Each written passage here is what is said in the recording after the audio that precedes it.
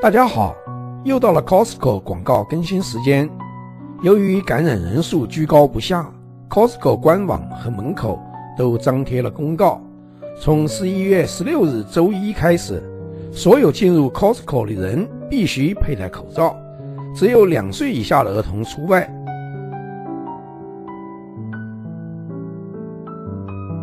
周一早上九时，很多人一大早来到 Costco。购物车上大多都有卷筒纸，这样看来，下午进来的人应该也是难以看到卷筒纸了。上周推出的厨师搅拌机、空气炸锅，据说当天就卖断货了。优惠期到二十二日的这两件特价品，现在连影子也看不到，人们出手很快呀。那么，我们就来看看这周还有什么特价品。成人泳镜，原价二十二块九毛九，减五块，现价十七块九毛九，三副装。这还真是个超值套装，专为十四岁以上的成年人设计，色彩造型时尚，三种不同的形状和镜片色调。镜框贴合脸庞，弯曲的镜片提供最大的可视性，防雾镜片具有防紫外线功能。有助于减少眩光，可以在水下提供出色的视觉和清晰度。头戴易于调整，快速、简便、舒适，是户外游泳的理想选择。Moritz 巧克力冰冷方块，原价十二块九毛九，减三块，现价九块九毛九，一公斤装。这款德国牛奶巧克力方块有多种口味。单独锡箔包装，口感绵密顺滑。它的特别之处是有奇妙的凉爽感，品尝时获得味蕾的愉悦。止痛贴原价十四块九毛九，减三块，现价十一块九毛九，一百四十片装。这是销量最好的膏药贴，日本生产，二十年销售了一百八十亿片止痛贴。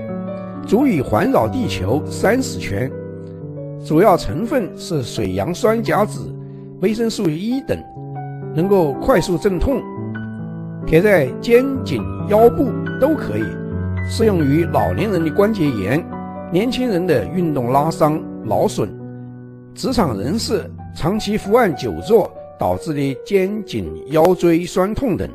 它的圆角和柔软的面料易于涂抹。贴片会随着部位的移动而弯曲。背部肌肉止痛膏原价二十四块九毛九，减五块，现价十九块九毛九。两大一小三支装。这款瑞士的止痛膏被称为外用止痛专家，用于缓解肌肉、软组织的扭伤、拉伤、腰背部损伤引起的疼痛以及关节疼痛等，也可用于。骨关节炎的对症治疗，强力渗透，直达患处，迅速止痛。使用时可借助按摩加速药物吸收。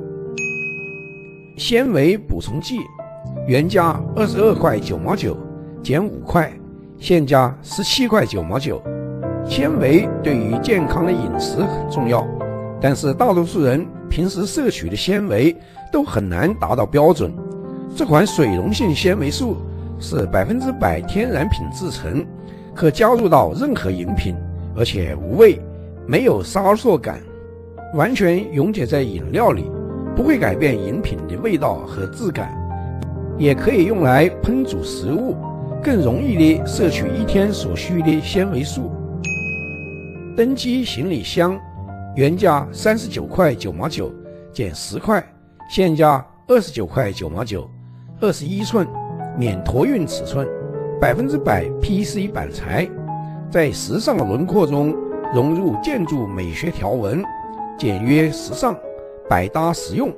箱体采用德国 PC 材质，其常用在航空航天、防弹玻璃等，强度高，柔韧性强，回弹性好，不易变形，表面拉丝纹理不易刮花。万向轮滚动轻巧，新秀丽腰部支撑垫，原价十八块九毛九，减四块，现价十四块九毛九。设计符合人体工程学，依据背部曲线，从而支撑身体并减轻压力，有望减轻背部疼痛，免去背部的负担。在通风网下面有冷却凝胶，可提供额外的舒适感，可调节皮带，适合大多数车辆座椅。神奇海绵擦，原价十二块九毛九，减三块，现价九块九毛九，九片装，看上去就像一块海绵，却有魔法般的清洁功效。使用的时候只要沾湿水，无需添加清洗液或者肥皂，挤掉多余的水分，就可以擦掉各种污垢，适合清理墙壁、地板、门。灶台、冰箱等家居用品表面，甚至运动鞋也可以用。当然，跟橡皮擦一样，使用之后它会变黑、变旧、变小，直到完全擦完为止。活性黑莓套装，原价三十四块九毛九，减九块，现价二十五块九毛九。日霜、晚霜两瓶装，独特的黑莓成分加上维生素 C 和维生素 E。帮助改善细纹、皱纹，深层滋润干燥的皮肤，减少弹性蛋白和胶质蛋白的流失，声称一周内能看到皮肤的变化。产品为低过敏性，清爽不油腻，不会阻塞毛孔。小麦薄饼原价六块九毛九，减两块，现价四块九毛九，里面有六小盒，八百克装。这个饼是小麦饼的代名词，仅以小麦成分、水、些许的植物油与盐为原料揉合烘制而成，没有其他的添加物，如同桌上的开水一样纯净自然。酥脆的口感散发着迷人的麦香，最适合搭配奶酪、鲑鱼、火腿等食材，不仅不会抢了食材的风味，更能增添丰富的口感。火麻仁原价十四块八毛九，减三块，现价十一块八毛九，九百零八克装。中文译为火麻仁、大麻仁、麻仁。它是大麻的种子，去除外壳后的产物，可以食用和榨油，含有丰富的蛋白质、不饱和脂肪酸，还有卵磷脂、亚麻酸、铁矿物等人体必需的微量元素。